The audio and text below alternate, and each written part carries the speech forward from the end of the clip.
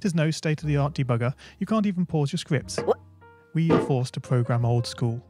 Our experience capped 30 frames per second on a 480 by 360 pixel stage. But these very restrictions force us to experiment, to think out of the box, to grow as developers as we become masters of all things Scratch.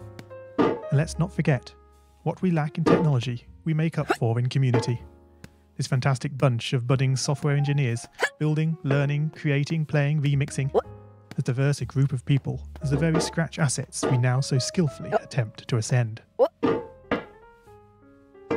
The act of climbing, in the digital world or in the real world, has certain essential properties that give the game its flavour.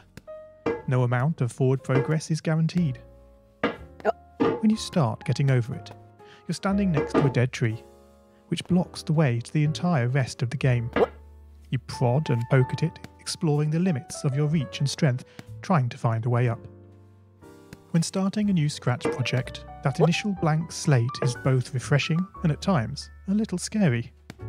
Wouldn't it be great if we could travel forward in time and review our finished projects to see how well they turned out?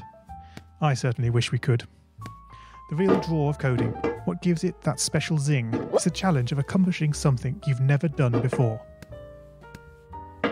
At this point, you don't want to fall into the trap of rushing into creating loads of content, designing all the levels, the player costumes, all the easier stuff that can be perfected later.